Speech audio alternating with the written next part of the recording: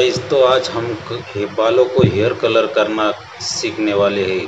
तो देखिए अच्छे से आज कैसे बालों को हेयर कलर करते हैं। तो नीचे के साइड से पीछे के साइड ब्लॉन्डर लगाए लीजिएगा बॉन्डर लगाने के बाद वो इसको सुखा देने के बाद, उसके बाद ये ऐसा कलर निकल के आएँगे। उसमें बाद ब्लैक कलर लेके उसे अच्छे से शेड मार के अच्छे से शेप में बना दीजिएगा। फिर उसके बाद वाइट कलर लगाने के बाद वाइट कलर अच्छे से लगा लेने के बाद ब्लैक कलर लगाएगा। ब्लैक कलर आगे के सामने और ड्रायर से सुखाने के बाद सुखा हुआ अच्छे से सुखाने के बाद अच्छे से एक ही के सामने टू स्टेप में हेयर कलर तैयार हो जाएगा। टू स्टेप में हेयर कलर करने के लिए हमारे चैनल को आपने अभी तक सब्सक्राइब नहीं किया हो तो अभी सब्सक्राइब कर दीजिएगा और आपको वीडियो अच्छा लगा तो लाइक भी कर दीजिएगा।